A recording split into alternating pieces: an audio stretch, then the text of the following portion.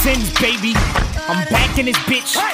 Starting shit with a bottle with Arbor Mist in a bottle with E and J that I lifted from Circle K right before I told the attendant I'm taking it. So eat a dick.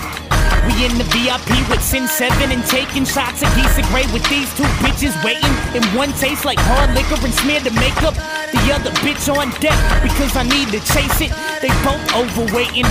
If you know me, you know that that's the shit I'm chasing. Two fat bitches with liquor, a sinning situation. I'm whack as fuck. I rap the sluts with big massive butts and pass the fuck out before I actually can blast a nut. I'm waking up like what the fuck just happened and grab another bottle of cognac and sip until I spit it back up. It's Loch Nessie, a monster, an alcoholic that'll brawl with any brawny thug standing taller and just for talking, often caught in conflict. I promise I'm the one with problems. The whole squad that I rock with is mad because I always start shit. I'm losing my goddamn mind. These goddamn lines are bars that I pen to rhyme, blur together and stress my eyes.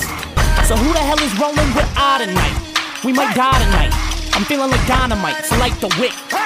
You like this shit, then bite this shit. I honestly couldn't give a fuck if you claim that you write this shit. I won't bite my lip and spite this shit. Sick my dogs on you like Michael Vick. I mean, his content is nonsense. It's like the date with Dick. And the worst part is this verse that I'm currently spitting is surely one of the realest verses that I've ever personally written. And this mixtape is gonna be in fraternities, turning and spinning.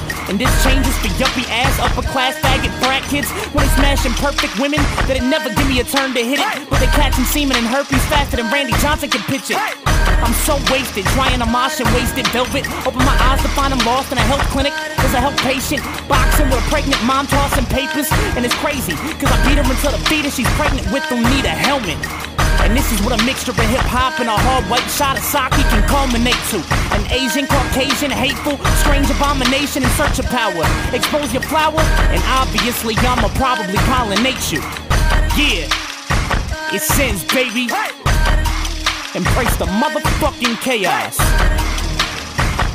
Yeah, yeah.